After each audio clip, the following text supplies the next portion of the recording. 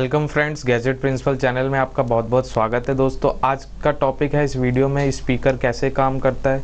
आप स्पीकर का इस्तेमाल कई जगह पे तो करते हैं, मगर उसके पीछे की साइंस या उसके पीछे का प्रिंसिपल नहीं जानते। तो इस वीडियो के माध्यम से आप पूरी डिटेल उसके बारे में जान पाएँगे। तो इस वीडियो को आप अंत तक देखते रहिए, जिससे मैं आपको बता सकूँगा स्पीकर के बारे का स्पीकर के पीछे की प्रिंसिपल और साइंस तो दोस्तों, हम स्पीकर का इस्तेमाल कई जगह ऐसे कॉमन तौर पे करते ही हैं, जैसे हमारा ब्लूटूथ स्पीकर हो गया, हमारो साउंड बॉक्स हो गए होम थिएटर हो गए टेलीविज़न हो गया सेल फ़ोन हो गया स्मार्टफ़ोन हो गया फीचर फ़ोन हो गया।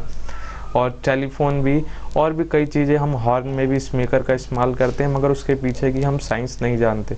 तो उसके पीछे की क्या साइंस है, उसके पीछे का क्या प्रिंसिपल है, उसके बारे में हम बात करने वाले हैं। दोस्तों स्पीकर के मेन कंपोनेंट्स के बारे में बात की जाए तो आप स्क्रीन पे देख पाएँगे।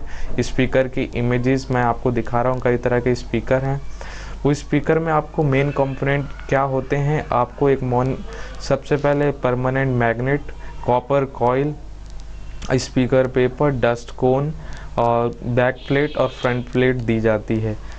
और उसके बाद आपको दो इनपुट्स वायर दी जाती हैं प्लस माइनस की, जिसके द्वारा साउंड सिग्नल जा पाता है।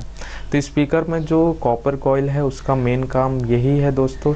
इसमें माइकल फेरेडे का जो लॉ है, उसका इस्तेमाल किया जाता है। अगर आप पे कोई भी कॉपर कॉयल है या सर्कुलर कॉपर कॉयल है, उसमें हम परमानेंट मैग्नेट को इंजेक्ट करते हैं। कंटिन्यूसली हम इंजेक्ट और करंट जनरेट होता है।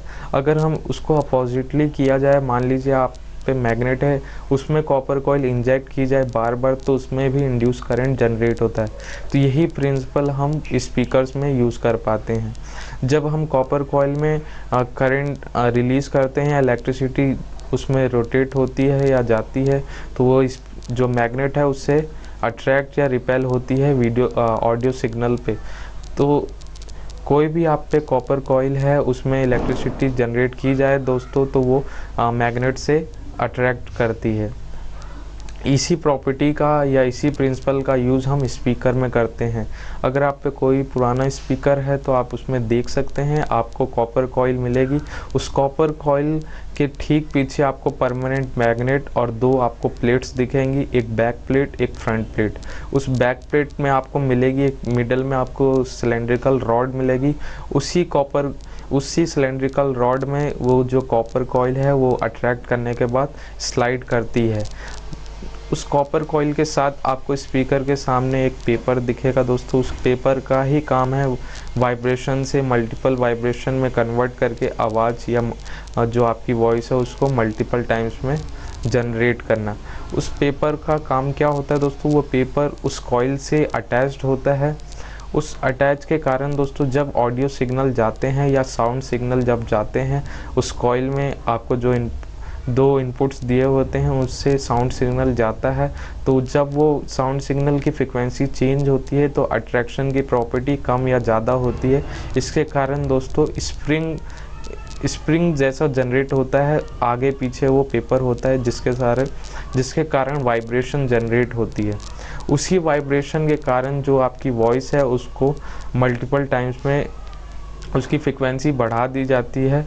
उसकी फ्रिक्वेंसी जब वो बढ़ जाती है या उसका हार्ट जब बढ़ जाता है तो वो हमें लाउड स्पीकर या होम थिएटर के स्पीकर जैसा काम करता है।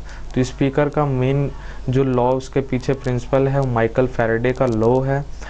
जब भी कोई भी कॉपर कॉयल में इंड्यूस करंट जनरेट होगा तो वो किसी भी मैग्नेट से अट्रैक्ट होगी।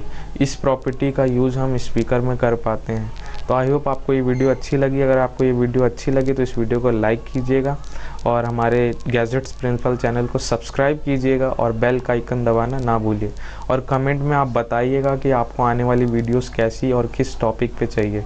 धन्यवाद।